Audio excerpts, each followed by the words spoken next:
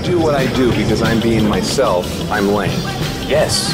But if I do the exact same thing because I'm trying to be ironic, then it's cool. All right, look. We're gonna turn regular lame you into ironic cool you. And you, you won't have to change a thing. Say what you think, wear your shirt, but do it in a way that makes people think that you don't mean anything you say.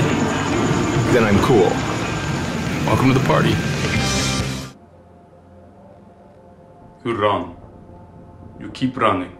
A few days you have enough of a head start. You go alone. Canada first. Then South America under a different name. Never stay in one place longer than a few days, week at most. Travel to somewhere in Europe under your real name with your real passport. Somewhere they speak English. When can I come back? You can't. David! Yo! David!